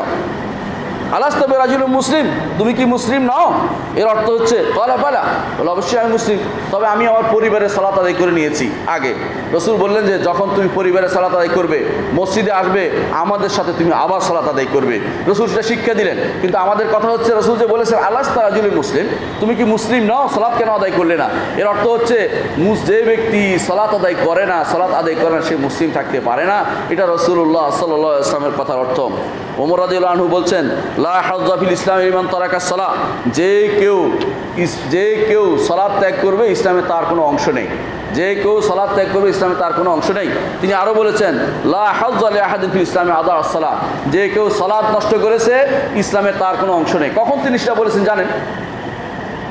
তিনি সেটা বলেছিলেন যখন তাকে আবুলুল আল মাজুসি ফারেসি তাকে যখন, তখন ইয়া তার ইয়া দিয়ে অস্ত্র দিয়ে আঘাতকে রক্তাক্ত করে ফেলে দিলেন, মসজিদে পড়েছিলেন, কোনো কিছু তাকে উঠাতে পারতো না। কিন্তু বলতো আমির মিন সালা কথা বলে তিনি উঠে যেতেন কষ্ট করে এবং সলাত আদায়ের জন্য বসে যেতেন। গায়ের সমস্ত শক্তি নিয়ে সলাত আদায় করতেন এবং বলতেন এই কথা যে যে সলাত আদায় না করলে ইমানদার ইসলামে আর তার কোনো অংশ থাকে না। অথচ তার রক্ত পড়তেছে সারা শরীর দিয়ে। সলাদ তিনি তো সে অবস্থায় মৃত্যুর আগ মুহূর্ত তিনি সলাদ ত্যাগ করতে রাজি হননি, বরং তাকে কোনো কিছু তাকে উঠাতে পারতো না হুঁশে আনতে পারতো না। সলাতের কথা বললে আল্লাহ তালা তাকে হুঁশ এনে দিতেন, তিনি উঠে সালাত আদায় করতেন। এটা ছিল ওমর রাজিউল্লাহ আনহুর কর্মকাণ্ড। আবদুল্লাহ ইবনে মাসরুদ আনহু বলেছেন, মান তারাকা সলাত ফালা দিন আলাহু যে কেউ সলাত ত্যাগ করবে, তার কোনো দিন নেই। আবু হরাজ হরাদিউল্লাহ বলেছেন, কানা সাহাবু রসুল্লাহ সাল্লাল্লাহু আলাইহি ওয়াসাল্লাম, লা ইয়ারাউনা শাইআ মিনাল আরমা তারকা কুফরান গায়রা সালাহ রাসূলুল্লাহ সাল্লাল্লাহু আলাইহি ওয়াসাল্লামের সাহাবীরা আবু রাজু বলেন রসুল্লাহ সাল্লাহ সাহাবিরা কোনো জিনিসকে ত্যাগ করাকে সরাসরি কাফের বলতেন না। যদি সলাদ ত্যাগ করতো, তাকে সরাসরি কাফের মনে করতেন। এর অর্থ হচ্ছে সাহাবাই কেরাম রেদুল্লাহ আলী মাজমাই এই মাসলাতে একমত এবং এজমা ছিল এটা যে অবশ্যই সলাদ ত্যাগ করা যাবে না সলাদ ত্যাগকারী ইমানদার নয়। আবু দারদার আদি আল্লাহ আনহু বলেন, লা ইমান আলিম আল্লাহ সাল্লাহ তালাম যার সলাৎ নাই, তার ইমান নাই। এবং তিনি আরও বলেন, ওলা সালাত আলিমাল্লাহ অদু আল্লাহু যার অদু নাই, তার কোনো সালাত হয় না। এর অর্থ হচ্ছে, যেই ব্যক্তি ইমান নাই, যে ব্যক্তি সালাত নাই, তার কোনো ইমান নাই। এটা আমরা স্পষ্ট বলতে পারি। কে বলতেন এটা? আবুদ্দারদার আদি আল্লাহ সাহাবা একরাম যা বলতেন, সেটা আমাদেরকে সবসময় মাথায় রাখতে হবে। আবদুল্লাহ ইবনে শাকিক তিনি ছিলেন তাবেরি, তিনি বলেন, আমি তিরিশ জন সাহাবিকে পেয়েছি। তিরিশ জন সাহাবিকে পেয়েছি। আদরাক্তু সালাসিন আমিন আসহাবিন নবী সাল্লাহ আলাইসলাম কুল্লুহুম ইয়ারাউনা তার কা সালাতে কুফরান। তার প্রত্যেকে যখন কেউ সালাত আদায় করে বলতো, তার কাফের হয়ে গেছে বলতো। সালাত পরিত্যাগকারীকে কাফের বলতো। এই জন্য সালাত ইমাম আহমদ হাম্বল বলেন যে, সালাত ত্যাগকারী হচ্ছে আকমিন আকবরিল কাবায় বড় কবিরা গুণার অন্তর্ভুক্ত, বড় কবিরা গুণার অন্তর্ভুক্ত। এবং কোরআন হাদিস থেকে আমরা দেখতে পাই সলাৎ ত্যাগকারী আসলে মুনাফিকের আলামত। কীভাবে আমরা জানি? কোরআনে কারিমে আল্লাহ তালা বলছেন, ইন্নাল আল্লাহ। মুনাফিকরা কি করে? আল্লাহকে ধোকা দি ধোকা দেয়। আল্লাহকে ধোকা দেয়। ওহু আদর তিনি তাদেরকে ধোকা দেন। ধোকা যখন পরস্পর বিরোধী হয় ইসলামের শরীয়তের বিধানটা জেনে নিতে হবে আপনাদের এখানে। সিফাতের ক্ষেত্রে, যখন কাফেরদের বিপরীতে আসে, তখন সেটা হয়ে যায় সেটা হয়ে যায় পূর্ণ পূর্ণতা জ্ঞান। পূর্ণতা একটা গুণ।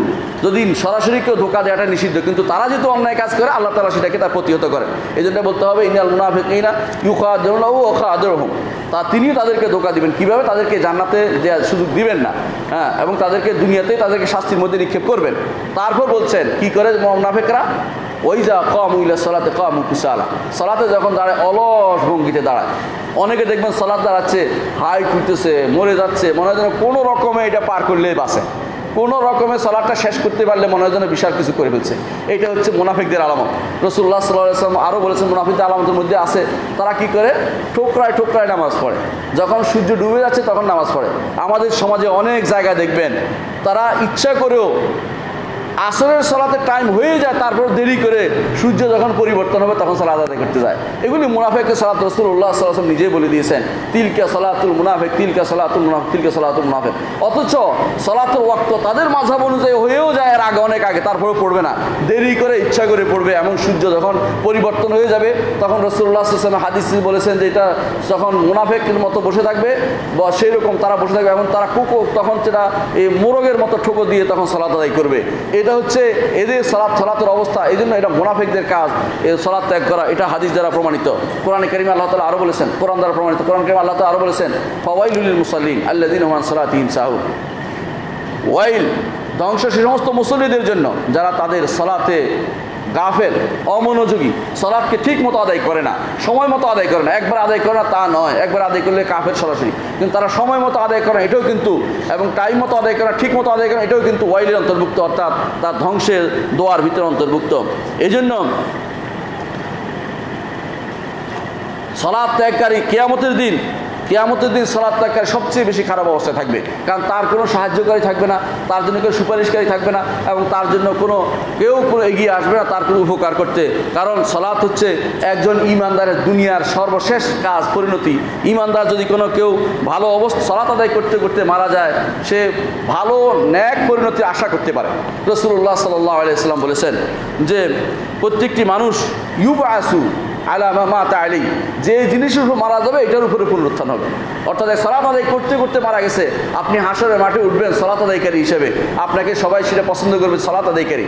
এই জন্য ইমানদারকে কবরের মধ্যে তাকে যখন দেখানো হয়, সূর্য ডুবে যাচ্ছে, ইমানদার অপেক্ষা করো, আমি সলাটটা পড়ে নেই। ইমানদারের শুধু চিন্তা করবে। ইমানদারের মধ্যে তার সলাতের প্রতি এত আগ্রহ থাকবে যে, একটু অপেক্ষা করো, সূর্যটা ডুবে যাচ্ছে, আমি সলাটটা আদায় করে নেই। কবরের মধ্যে তার চিন্তা থাকবে, দুনিয়াতে যেভাবে ছিল। হাসরের মাঠেও হতে সলাতে তার জন্য হিসাব দেওয়া সহজ হয়ে যাবে তার সামনে সব কিছু সহজ কিন্তু সলাত আদায়কারী হয়।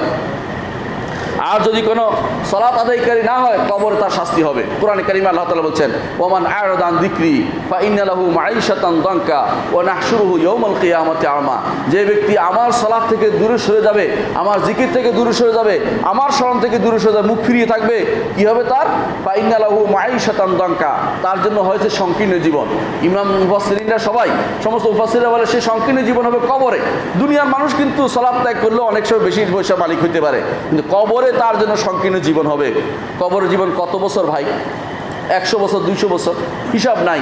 এই পুরো জীবনটা তার সংকীর্ণ জীবন হবে, যে ব্যক্তি সলাৎ আদায়কারী হবে, সলাৎ সলাৎ পরিত্যাগকারী হবে। এবং সেই ব্যক্তির কি হবে? আল্লাহ তালা বলছেন ওনাক শুরু ইয়ৌমাল কেয়ামতে আমা। কেয়ামতের দিন তাকে অন্ধ করে আমরা হাসর করব। অন্ধ করে হাসর করব। ওনাসু ইয়ৌমাল কিয়ামতে আরমা কল রব্বিলিমা হাসর তানি আরমা সে বলবে আরব আমাকে কেন অন্ধ করে হাসর করলেন? কল কাজালিকা আতাতকা আয়াতুনা ফানাসিতাহা ফাকাযালিকা ইয়াউমা তুনসা। দুনিয়ার বুকে তোমার কাছে আমার আয়াত আসতো, নিদর্শন আসতো। সলাতের কথা বলা হতো, তুমি সেগুলি ভুলে বসতে। আজকের দিনে তোমাদেরকে, তোমাকে ছেড়ে রাখা হবে। তোমাকেও টেনে আনা হবে না, জান্নাতে দেওয়ার অবস্থা করা হবে না, কারণ সলাৎ পরিত্যাগকারী ছিল। এই জন্য হাসরের মাঠে তার শাস্তি হবে ভয়াবহ, যে ব্যক্তি সলাৎ পরিত্যাগকারী হবে। সলাৎ পরিত্যাগকারীকে আল্লাহ তালা কোরআনে কারিমে বলেছেন, কোরআন যারা সলাৎ যারা জাহান্নামে যাবে, তাদের একটি গুণ হচ্ছে তারা সলাৎ পরিত্যাগকারী হবে। কলুমা সালাকা কুমফি সাকার। তাদেরকে বলা হবে যে কোন জিনিস তোমাদেরকে সাকারে ঢুকাইলো? সাকারটা জাহান্নামের নাম। জাহান্নামের একটি নাম, যে স্যার কোন জিনিস তোমাদেরকে সালাকে, সাকারে ঢুকাইলো? কলু লামনা কুমিনাল মুসাল্লি তারা বলবে, আমরা সালাত আদায়কারী ছিলাম না, আমরা সালাত আদায় করেছিলাম না। এর অর্থ হচ্ছে সালাত আদায়কারী না থাকা, সালাত আদায়কারী না হওয়া জাহান্নামে যাওয়ার একটা কারণ, সাকারে যাওয়ার একটা কারণ। ইমানদার কখনো সেটা করতে পারে না, ইমানদার সবসময় চিন্তা করবে, কীভাবে সে জান্নাতে যাবে, সে চিন্তা তার মাথায় সবসময় থাকে। তাহলে একজন মানুষ সালাদ যখন পথ পরিত্যাগ করবে, তার অবস্থা কি হবে? জাহান্নামে যাওয়ার জন্য নিজের প্রস্তুতি নিতে হবে, এটা আখেরাতের শাস্তি, দুনিয়ার তার কি শাস্তি হতে পারে? ইমামরা যুগ যুগ ধরে বর্ণনা করে গেছেন, যারা সলাদ অস্বীকার করবে তারা কাফের। এক নম্বর কাজ। দ্বিতীয়ত, যারা সলাৎ অবজ্ঞা করে পড়া তো দরকার নাই মনে করে, তারাও কাফের। এখানে কোনো মতভেদ নাই ইমামদারদের। ইম- ইম- ইমানদাররা, অর্থাৎ মুসলিম ইমামরাও কোনোদিন মতভেদ করে না এখানে। যে ব্যক্তি অবজ্ঞা করে সলাত আদায় করবে না, সেই ব্যক্তি কাফের। প্রয়োজন নাই মনে করে পড়তেছে না, সে কাফের। তার সাথে আপনাদের বিয়ে শাদী হতে পারে না। কিন্তু আপনাদের বাড়িতে যখন পয়সাওয়ালা, ডিগ্রিওয়ালা কেউ চলে আসে, অথবা চাকরিওয়ালা কেউ চলে আসে, আপনারা তার সলাতের দিকে তাকান না। এতে করে মেয়েরা ক্ষতিগ্রস্ত হয়। মেয়েরা বেশিরভাগ সবচেয়ে বেশি ক্ষতিগ্রস্ত, কারণ তারা তখন এমন এক সাথে এমন এক ছেলের সাথে জীবনযাপন করে, যেই ছেলে কাফের। তার সন্তানরা হয়ে যায় হারামজাদা, কারণ ইমানদার এবং মুসলিমের মধ্যে কোনো বিয়ে শাদী হইতে পারে না। আপনারা ভালো করে জানেন। এ সবচেয়ে বিপদ ডেকে আনেন আপনারা নিজেরাই। জানেন না যে ইমানদার সলাত আদায়কারী না হলে ওর সাথে বিয়ে দেয়া যায় না। এই জন্য অনেক সময় দেখা যায়, অনেক কিছু সে কিন্তু সলাত আদায় করে না। এই ব্যক্তির সাথে আপনার কোনো কিছু সম্পর্ক থাকতে পারে না। আপনি যখন রাত রাতের বেলা দোয়াতে বলেন ওনা খলাড়ু ওনা ত্রুকুমাইয়াফ জুরুকা আমি ছেড়ে দেই, সম্পর্ক ত্যাগ করি। যে কেউ, যে আমার সাথে, আপনার ফাজের ফাসেক, আপনার সালাত আদায় করে না, আপনার কথা শুনে না, তার সাথে আমি সম্পর্ক রাখি না। দুনিয়ার বুকে এসে আপনি কিন্তু সম্পর্ক রেখে দেন। আপনার ছেলে যেটা সালাত আদায় করে না, সে আপনার ঘরে থাকার উপযুক্ত না, তাকে বের করে দিন। যেই ছেলে যেই ছেলে প্রাপ্তবয়স্ক হয়েছে, অথচ সালাত আদায় করে না, সে সে আপনার ঘরে থাকার উপযুক্ত না। এবং যেই পিতা মাতা সলাত আদায় করে না, তাদেরকে দুনিয়ার বুকে আপনি তার খেদমত করে যান। কিন্তু মরার পরে তার খাটিয়া বহন করার যোগ্যতা আপনার নাই। কারণ ইমানদার কখনো কাফের খাটিয়া খাটিয়া বহন করতে পারে না। এবং তাকে আপনি সলাত আদায় করতে পারবেন না। যে সলাত, যে কাফের সলাত আদায় করে নাই কোনোদিন, বা আপনি জানেন যে এই অবস্থায় ছিল যে সলাতের প্রতি গুরুত্ব তার ছিল না, সামান্যতম গুরুত্ব সে পোষণ করতো না, তার খাটিয়া বহন করতে পারবেন না, তাকে তার উপর জানাজা পড়তে পারবেন না, তাকে মুসলিম কবরস্থানে দাফন করতে পারবেন না, তার মিরাসের অধিকারী আপনি হতে পারবেন না, তাকেও আপনি মিরাসের অধিকারী করতে পারবেন না। এই জন্য যেই নারী সলাত আদায় করবে না, সেই নারীও আপনার স্ত্রী থাকবে না, স্ত্রী থাকতে পারে না। নারীকে সলাত আদায় করার কথা বলেন, সলাত আদায় করে না, শত কিছু হলেও তাকে ফিরিয়ে দেন যে তুমি ইমানদার নয়, কাফের হয়ে গেছো। দুনিয়ার বিপদ থেকে বাঁচার জন্য তাকে তালাকের মাসলা দিয়ে বিদায় করে দেন। সন্তানদেরকে আল্লাহ দেখবে, সন্তানের দিকে তাকিয়ে কাফের মহিলার সাথে ঘর করা যাবে না। সন্তানের দিকে তাকিয়ে কাফের পুরুষ সাথে ঘর করা যাবে না। শরীয়ত সেটা অনুমোদন করে না। এই জন্য সরাত ত্যাগকারীকে ইমানদার বলার কোনো সুযোগ নেই সালাদ ত্যাগকারী এই বিধানটা মনে রাখতে হবে আমাদেরকে। কিছু মানুষ আছে সালাত আদায় করে। কীরকম? যে সলাতের গুরুত্ব তার আছে। কিন্তু মাঝে মধ্যে ছেড়ে মাঝে মধ্যে করে। আসলে গুরুত্ব নাই এই জন্যই করে। যে এই জিনিসের গুরুত্ব বেশি, এটা কোনোদিন মানুষ ত্যাগ করে না। আপনি চিন্তা করেন, যদি আপনি ঢাকা যাবেন, টিকিট কাটছেন, ওই টিকিট আপনি কোনোদিন নষ্ট করবেন না। দরকার হলে তিনজনকে ডেকে বলবেন, ভাই, আমাকে উঠিয়ে দিও, আমি কিন্তু ফজরের সময় আমার গাড়ি ধরতে হবে, বিমান ধরতে হবে, অথবা ফজরের সময় আমাকে হ্যাঁ ট্রেন ধরতে হবে। তিন, অ্যালার্ম দেন, বউকে বলেন, অমুককে বলেন, তমুককে বলেন, কেন? গুরুত্ব বেশি। আর যে ব্যক্তি গুরুত্ব নাই সেই শুধুমাত্র সালাদ পরিত্যাগ করতে পারে। মাঝে মধ্যে পড়ে সুযোগ পাইলে মাঝে মধ্যে পড়ে না, অথবা শুক্রবারে সালাদা দেখেন অথবা দেখবেন কেউ বছরের একবার সালাদা করে। জুমার দিন অথবা দেখবেন ঈদের দিন সালাদাই করে। এরা ইমানদার নয়, এরা ইমানদার নয়, এরা কাফের এরা কাফের। হ্যাঁ প্রশ্ন হচ্ছে, এই কাফের বিধান কি? দুনিয়ার বুকে আপনার কাছে কিছু কাজ আছে, সেটা হচ্ছে তাদের সাথে আপনার সম্পর্ক থাকবে না। তাদের সাথে আপনার সম্পর্ক থাকবে না। পারিবারিক সম্পর্ক হতে পারে না। তাদের সাথে আপনার পারিবারিক সম্পর্ক হতে পারে না। দ্বিতীয়ত দ্বিতীয়ত তাদের সাথে ওয়ারিসি সম্পর্ক হতে পারে না। তাদের জানাজা আপনি পড়তে পারবেন না। তারাও আপনার জানাজা শরীর হতে পারে না। তাদেরকে আপনার মুসলিম গুরুস্থানে কবর দিতে পারবেন না। এগুলি আপনি করবেন। হ্যাঁ আর কি? আপনার উপরে এই দায়িত্বের পরে বাকি রইল পার- এটা করবে কাফেরি হুকুম হিসাবে কি বিধান রয়েছে? ইমাম আহমদ হাম্বল বলেন, কাফের হিসাবে তার উপরে শাস্তি দেওয়া রাষ্ট্রপ্রধানের উপর কর্তব্য। কার উপর কর্তব্য? রাষ্ট্রপ্রধানের উপর কর্তব্য। তিনি যদি না দেন, তিনি গুণাগার হবেন। কারণ আপনারা জানেন যে, ইসলামী রাষ্ট্রপ্রধান একটা বড় দায়িত্ব হচ্ছে, যদি দুনিয়ার ক্ষমতা আসে, কি করতে হবে? আল্লাহ বলে দিয়েছেন আল্লাহ দিন আমি মাক্কান্না ফিলার্দে আকা মুসালাত আতাউ জাকাত আমরুবিল মাহরুফ আনিল মুনকার ওয়ালিল্লাহি আকিবাতুল উমুর। ইসলামের রাষ্ট্রপ্রধানের বড় দায়িত্ব হচ্ছে একটা আল্লাহ দিন মাক্কান্না ফিলার্দ দুনিয়ার বুকে ক্ষমতায় যে আসে, তার বড় দায়িত্ব হচ্ছে একটা। প্রথম দায়িত্ব হচ্ছে আকা মুসালাত সালাত কায়েম করবে। ব্যক্তি যেমন সলাৎ কায়েম করে, পরিবারে, সমাজে যেমন সমাজপতি করে, এবং আপনারা যেমন মসজিদের আশেপাশের লোকেরা করেন তেমনিভাবে রাষ্ট্রপ্রধানের দায়িত্ব হচ্ছে পুরো পুরো রাষ্ট্রের ভিতরে কোথাও সালাদ বাদ গেছে কিনা দেখা তার দায়িত্ব।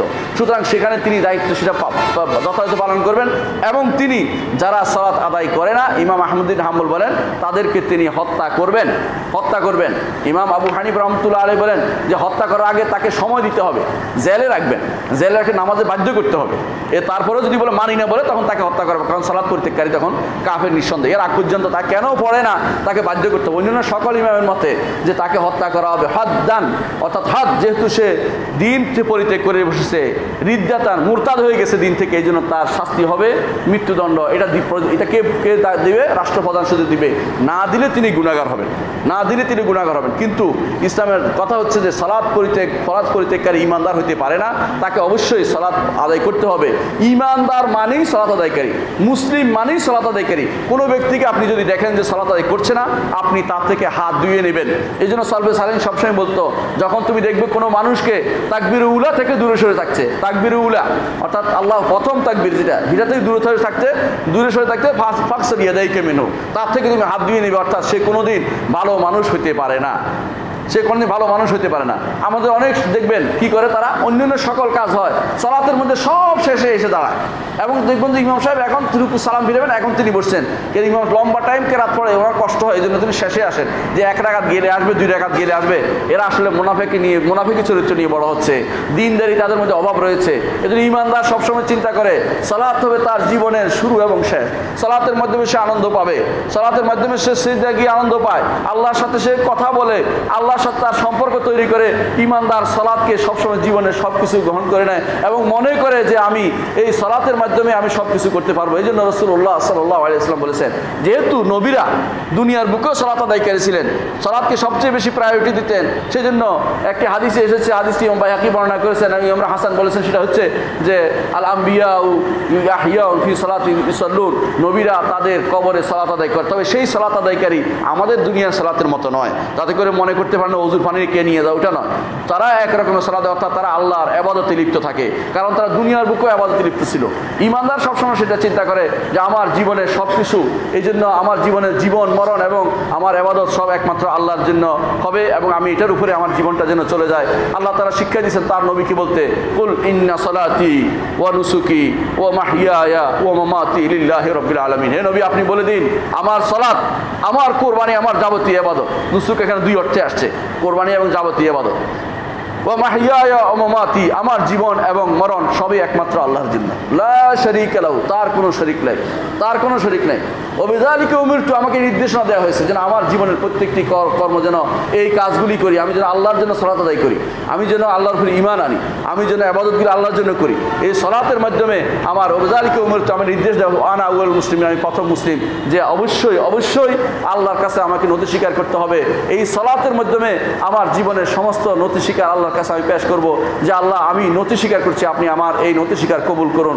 আপনার কাছে আমি নিজেকে সঁপে দিচ্ছি, আপনি আমাকে কবুল করুন। আমার আমল কবুল করুন, আমার জীবনটা কবুল করুন। আকুল কৌলি হাদা ওয়াস্তাগফিরুল্লাহ আলী ওয়া লাকুম ওয়া মুসলিম ইন্নাহুল গাফুর রাহিম।